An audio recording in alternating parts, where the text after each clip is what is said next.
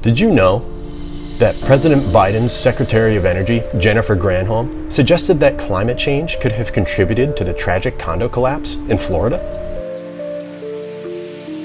On CNN, Granholm said, Obviously, we don't know fully, but we do know that the seas are rising.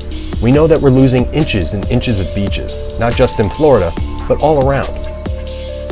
Yet, according to former Obama Biden federal scientist Dr. Steve Koonin, sea level is rising at the rate of one foot per century and was doing it at about the same rate 80 years ago. And according to the Wall Street Journal, a report performed by an engineering company in 2018 said the building was in need of $9 million in repairs. But whatever the exact cause of the condo collapse is, this isn't the time to be making baseless claims to score political points.